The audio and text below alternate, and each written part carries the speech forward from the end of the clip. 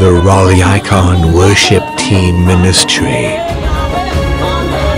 Organize a big moment of praise and worship. Saturday, April 11th, 2015. From 6 p.m. to 8 p.m.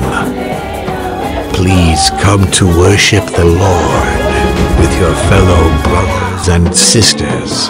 The address 5824 McHines Place, Raleigh.